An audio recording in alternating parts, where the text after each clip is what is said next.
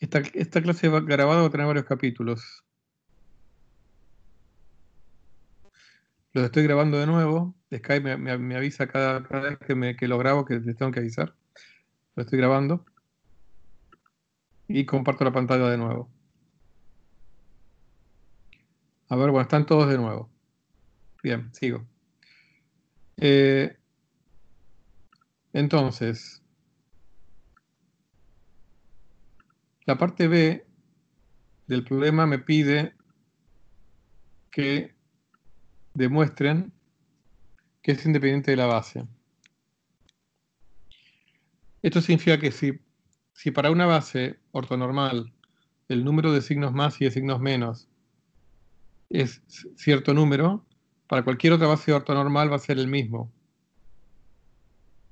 Eh, esto también lo voy a pasar rápido, porque la, idea es que lo hagan ustedes, o bueno, por lo menos que lo estudien ustedes en función de lo que les mandé. Eh, este caso los, invi los invito a que lo, lo estudien, que es el caso, mm, porque es un problema general, que incluye espacios en donde la asignatura, la métrica sea degenerada, con lo cual, si es degenerada, va a haber algunos autovectores, o sea, va a haber algunos miembros de una base ortonormal, tal que su, su, norma sea nula. A eso lo llamamos nulo, el espacio nulo, que es el espacio de todos los vectores, tal que su producto escalar con todos los vectores del espacio me da cero. Entonces, el problema yo lo resolví de forma muy general, incluyendo el caso de métricas degeneradas. Pero también, para no detenerme mucho, esto se lo dejo para que lo estudien ustedes. Y lo mismo para el caso que este nos interesa, que es el de asignatura. Eh, yo estoy en una base, ¿no? Una base ortonormal. Me voy a concentrar en el, en el subespacio generado por los miembros de la base, tal que tiene norma positiva, ¿no? Es, un, es fácil mostrar, bueno, no es fácil mostrar, es evidentemente, ¿no? O sea, si yo agarro un subconjunto de la base, genero un subespacio del espacio vectorial. Eh, con lo cual, cualquier vector que pertenezca, y ese subespacio, subespacio generado por los miembros de asignatura positiva, lo llamo más. Todo vector de ese subespacio, por definición, se escribe como una combinación de los vectores de la base más. Evidentemente, la norma de ese vector, como la norma de esto, como esto es una base ortonormal y la norma de todo esto es 1, la norma de un, cualquier vector es la suma de los cuadrados de sus componentes. Obviamente, la, nor la norma de todo vector de este espacio, de este subespacio, es positiva. Entonces, para demostrar que la asignatura es independiente de la base, vamos lo que se hace es definir W, el máximo subespacio del espacio tangente B corta, que sea definido positivo. O sea, sería el conjunto de todos los vectores cuya norma es positiva. Y entonces, una forma de demostrar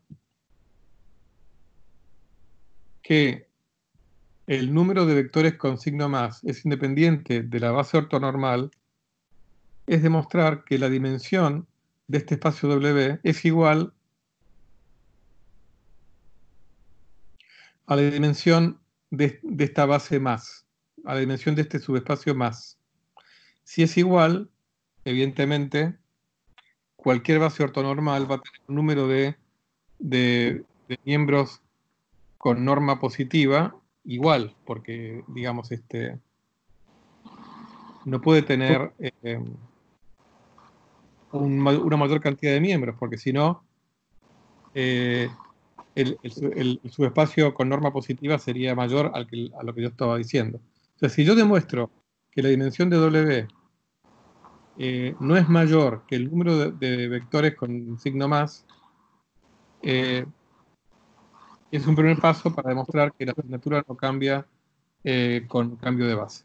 Es lo único que les voy a decir, estudiense esto tranquilos, eh, resuélvanlo en sus cuadernos y después me cuentan. ¿Alguien quiso decir algo recién? Ah, no, pensé que escuché como interferencia de voces, pero los escucho callados. A ver, por las dudas controlo que estén todos, este, están todos. Bueno, y para la demostración, para el subespacio de, de, o sea, para los vectores con signatura negativa, la demostración es análoga a esta. O sea, es completamente es idéntica. Nada más que en lugar de más, este, son la parte de signo menos, pero la demostración es idéntica. Así bueno, esa es la tarea que tienen. Este problema se los veo como que se los resolví eh, poco más de la mitad. Ahora ustedes tienen que terminar de entenderlo y de resolverlo.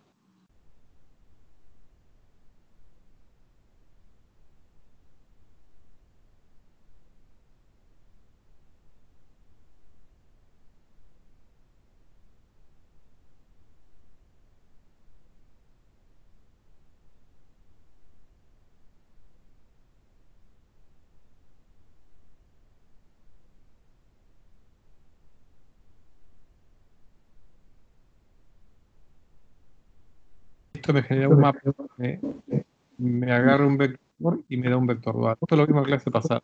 Además acá lo paso un poquito más de limpio. Eh, bueno, esto no lo vimos. Eh, si la asignatura es igual a la dimensión de la variedad, la, la métrica es definida positiva. Y si es n-2, se dice que es lorenciana. Eso también lo vimos la clase pasada. Eh, pero acá agregué un par de cositas.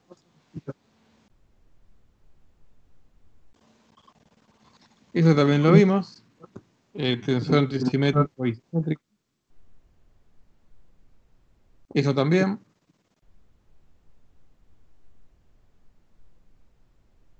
Y esto también. Mapa de identidad. Que me agarra un vector y me da otro vector.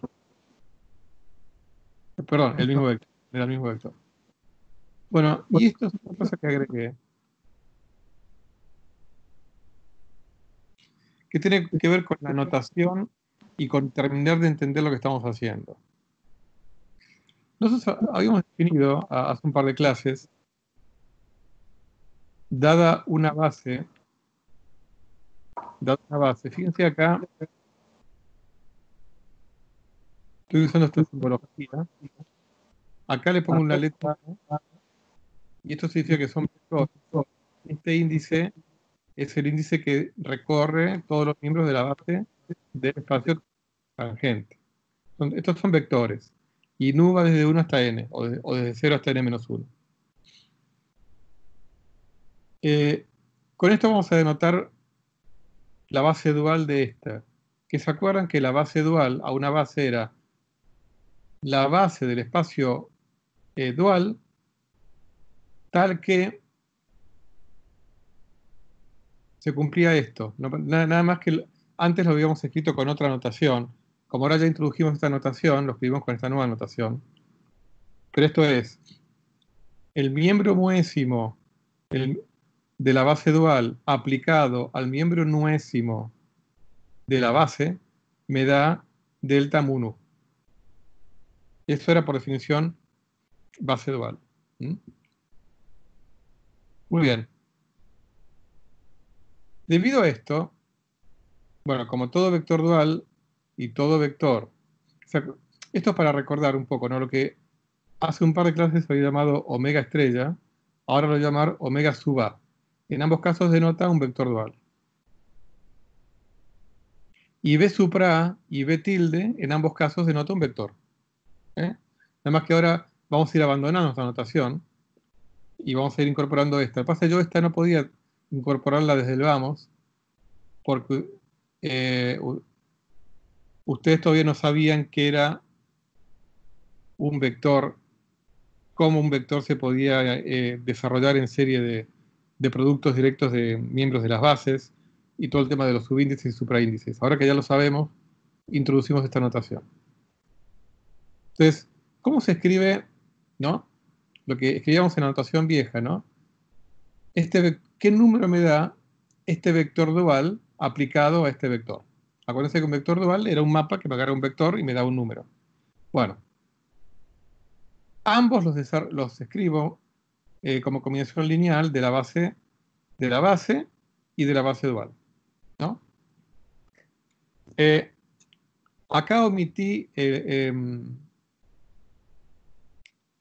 el A y el B para no confundir la notación. Em, por ahí aquí podría haber puesto una tilde, como para recordar que esto es un vector. Como acá está el, asterisco, esto está claro que esto es un vector dual. Aquí quizá tenía que haber puesto una tilde. Bueno, bueno como, em, como los eh, vectores son, eh, ¿cómo es? Los vectores duales son mapas lineales, entonces saqué afuera los coeficientes estos. Em, o sea, saqué afuera esto y ahora saco afuera esto. Porque como esto es lineal, y me queda esto.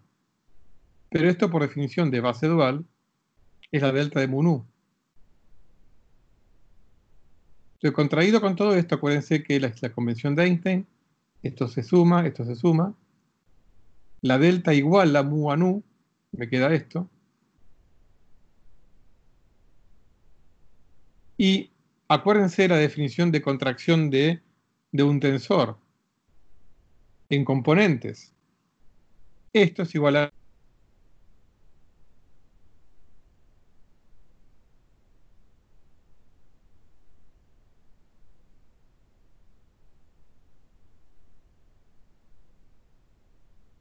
B supra B y lo contraigo. Y se acuerdan que la contracción de dos índices de un tensor en, componentes era esto, o sea, esto es igual a esto. ¿eh? O sea que esto es muy importante. La aplicación de omega a B es igual a la contracción de omega con B. Esto es muy importante tenerlo en claro. Ya nunca más vamos a usar esta notación. La aplicación del vector dual omega estrella al vector tangente B tilde es igual, es el mismo número que se obtiene de contraer omega A con omega sub A con B supra A que es en una, en una base concreta se escribe así. Eh, y en general es fácil de mostrar, como les digo siempre, esto es engorroso en cuanto a que hay que llenar una página entera, ¿no? De, este, pero bueno, es algo bastante inmediato, generalizar esto. La, mm,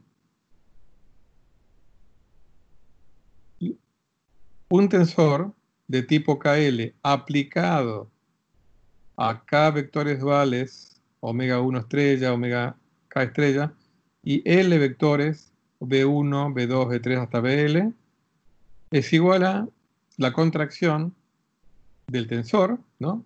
escrito en esta notación que es la que siempre vamos a usar, con todos estos vectores. Estoy construyendo el A1 con este, el A2 con el A2, el AK con el AK, el B1 con el B1, el B2 con el B2, el BL con el BL.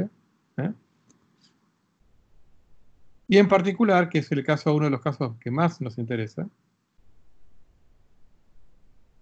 el tensor métrico, que es un tensor de tipo 0,2, eh, aplicado a dos vectores, B1 y B2, a partir de ahora vamos a escribir así.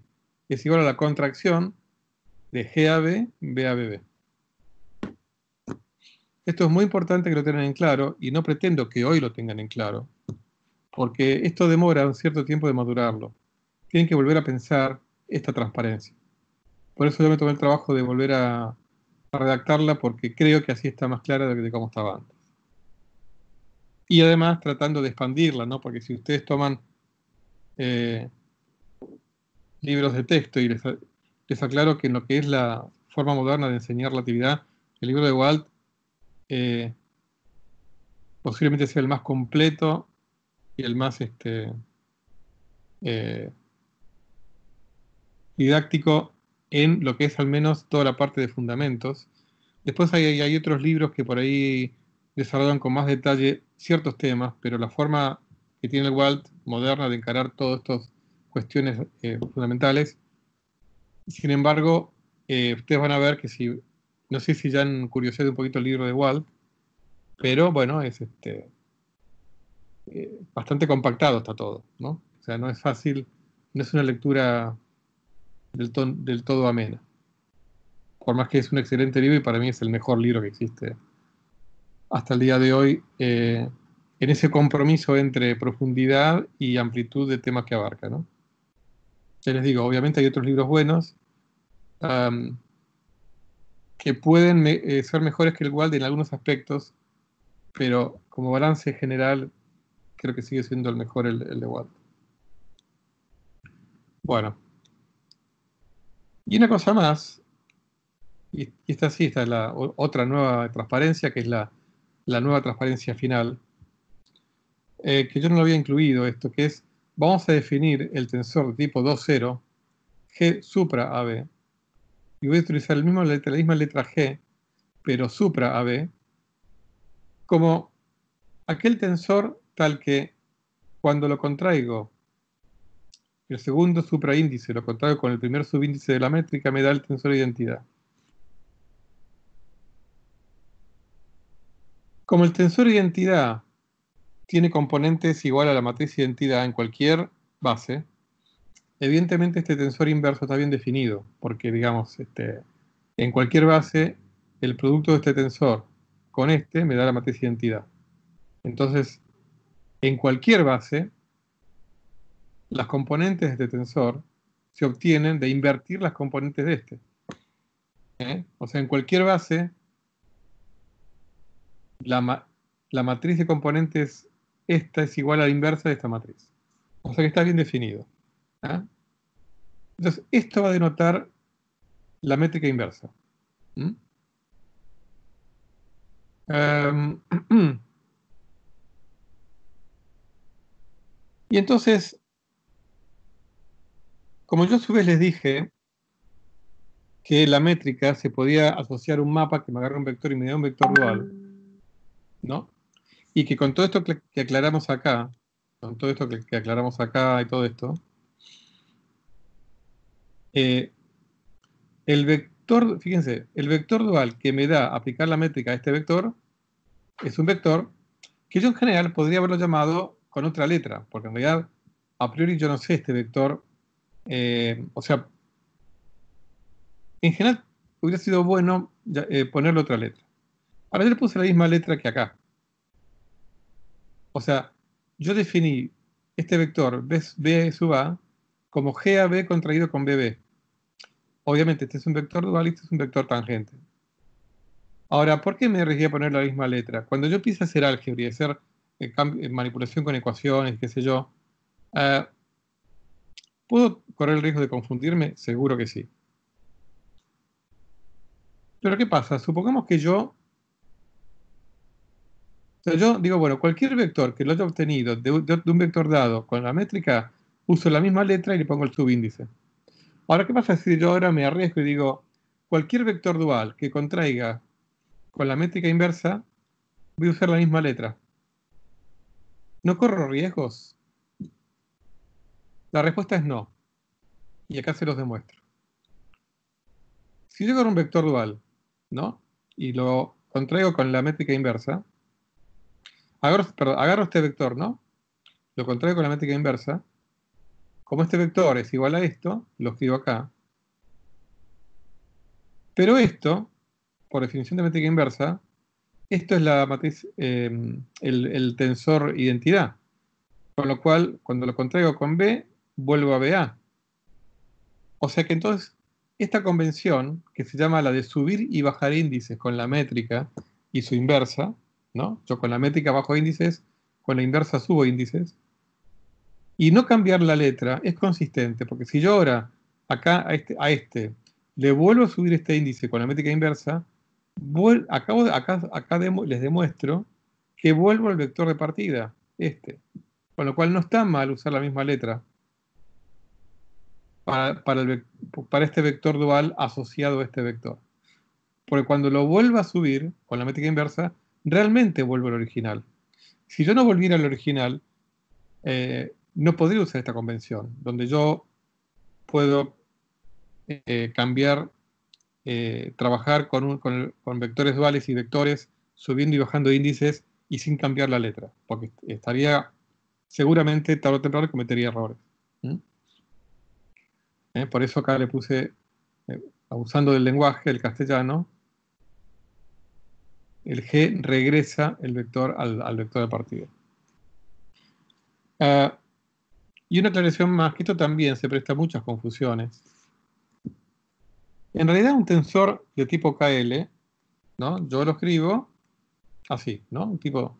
Acá no me, preocupo, yo si me pongo eh, A1, A2, acá, B1, B2, acá no, me preocupo, o sea, obviamente me preocupo por el orden de arriba y el orden de abajo, pero yo no me preocupo por el orden entre el de arriba y el de abajo. O sea, obviamente yo dijimos que un tensor no tiene por qué ser igual eh, a su a su o sea, TAB no tiene por qué ser igual a TBA, donde TBA por definición es si eh, TAB aplicado a dos, vectores B1 y, B, 1 y B2 me da lo que me da, TBA aplicado a esos mismos vectores por definición es igual al TAB pero aplicado a B2, B1, que en principio no, tiene, no me tiene por qué dar el mismo número, salvo que el tensor sea simétrico y si es simétrico se escribe TAB igual a TBA. Pero en general yo no puedo acá, acá si yo acá invierto los, los índices, me va a dar otro tensor. Pero aquí yo no me preocupé con el, orden en que yo escribo los, los supraíndices con respecto a los subíndices. Pero con esta convención de subir y bajar índices, yo puedo tener problemas. Pues, por ejemplo, eh, cuando yo hago manipulaciones algebraicas, donde yo arranco con, algún tensor que tiene algún significado físico, ¿no? No importa cuál sea. Acá elijo al azar un vector que voy a llamar RABCD. Y hago manipulaciones algebraicas, eh, manipulo ecuaciones para obtener resultados interesantes. Y entonces ahora eh, me aparece la métrica contrayendo con algunos de estos índices y por algún motivo subí el primero y el tercero. Entonces, tengo que escribir, si subí con la métrica G, ¿no? Subí el primero y el tercero, lo que me queda es un tensor de tipo 2,2, este es un tensor de tipo 0,4. Eh, aquí es un tensor tipo 2,2, pero ojo, lo tengo que, escribir así. Y acá sí tengo que tener cuidado, no puedo escribirlo así. Y esto se ve, o sea, porque estoy por convención, estoy diciendo este R es este que lo obtuve haciendo ciertas operaciones con los índices, ¿no? Si yo tengo otra letra, no hay problema. Si yo, si yo trabajo con distintos tensores, no hay problema, puedo hacerlo con el orden de los índices, pero si yo trabajo con un tensor en sus eh, distintas formas de escribirlo, producto de contraerlo de forma diferente con la métrica, tengo que tener cuidado porque esto no es igual a esto. ¿Por qué? Y este último, ¿cómo lo obtengo de este? O sea, este está claro cómo lo obtengo de este, subiendo el segundo y el, perdón, subiendo el primero y el tercero. ¿Cómo lo obtengo este? Y acá primero tengo que permutar el segundo con el tercero para que me quede A, C, B, D. Y después subir el primero y segundo índice.